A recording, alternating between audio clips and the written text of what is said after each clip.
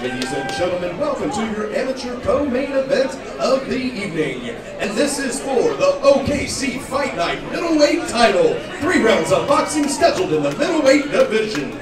Introducing first, fighting out of the blue corner, ladies and gentlemen, Devon Booker!